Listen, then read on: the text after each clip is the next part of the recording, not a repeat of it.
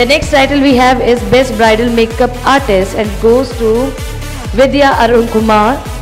We would like to give our best wishes to Vidhya Arunkumar for winning the title of Best Bridal Makeup Artist.